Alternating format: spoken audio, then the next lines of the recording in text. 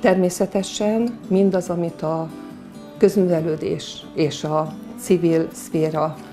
életében sikerült alkotni, teremteni az elmúlt húsz év folyamán,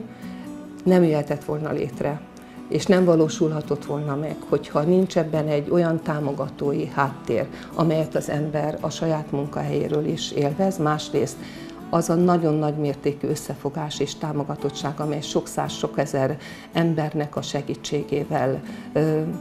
valósulhatott meg. Sikerült a városban olyan népünnepélyeket és olyan kőbe, érzbe megfogalmazott, illetve a Millennium Pannóban megfogalmazott műalkotásokat végig megalkotni, és ezt végig menedzselni, amely örök életű maradt szerintem a város életében, és ebből nőtt ki tulajdonképpen a Szent László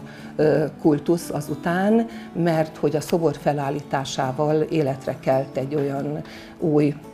vonulat a városrendezvények az életében, hogy felépült fokozatosan a Szent László napi vigadalom, majd 2005-ben kiterjedt Szent László napokká. Emellett, ami nagyon-nagyon fontos sorozat, a, talán az emlékévek az egyes emlékéveknek a, a sorozata. Ez indul ö,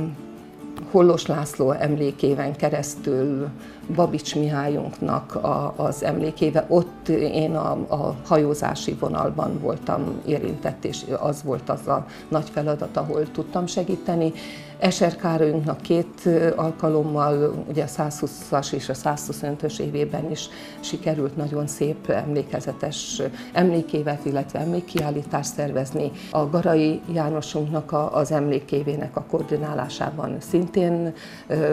jelen volt a, a Baka István emlékévünknek a koordinálása ismételten. Az is egy nagyon szép sorozat, ami életem úgymond egyik főműve, és nagyon köszönöm azt a bizalmat és azt a lehetőséget, amelyen megtiszteltek akkor, amikor a Mészőr Miklós kultusz felépítésével megbíztak,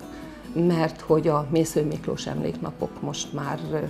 most már azért úgy tudom, hogy mondhatom bátran, hogy nemzetközi szinten is emlékezetesek maradnak, és, és ami nagyon nagy öröm, és aminek a szülőanyja lehettem, az még a Szexádi Magas Iskola is. Ilyen kiemelkedő még a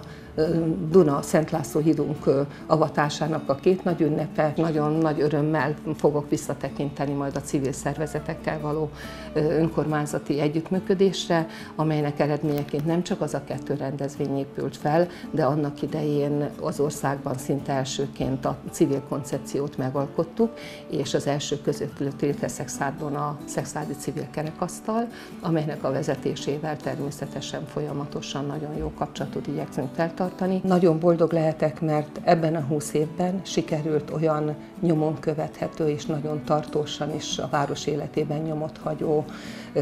eredményeket szellemi építkezésben, a kulturális területen és a civil életben is elérni,